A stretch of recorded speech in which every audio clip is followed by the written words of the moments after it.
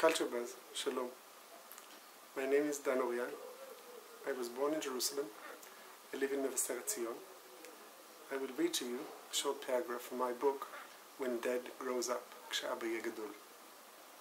והערב, אחרי הסיפור שלפני השינה, שאל תום את אבא, אבא, תגיד, כשהיית קטן, ידעת מה תהיה כשתגדל? אבא חשב ענה, בטח שידעתי. ומה רצית? שאל תום. היו המון דברים שרציתי, אמר אבא.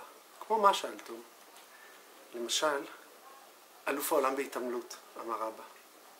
אלוף העולם בהתעמלות? שאל תום. אם היית אלוף העולם בהתעמלות, הייתה לך בטח מדליית זהב. ואני הייתי עומד אותה, ולא הייתי מסיר אותה אפילו כשהייתי שוכב לישון. אבל אבא, זה טוב מאוד שוויתרת על זה, כי אם היית אלוף העולם בהתעמלות, היית צריך כל הזמן להתאמן, ולא היה לך זמן לשחק איתי. אז אם לא אלוף העולם בהתעמלות, מה עוד רצית להיות? מאלף אריות בקרקס, אמר אבא. מאלף אריות?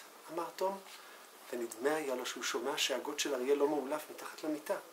מאלף אריות זה מקצוע טוב, אמר תום והוסיף מיד. אם היו יודעים בכיתה שלי שאבא שלי מאלף אריות, אף אחד לא היה מעז להציק לי.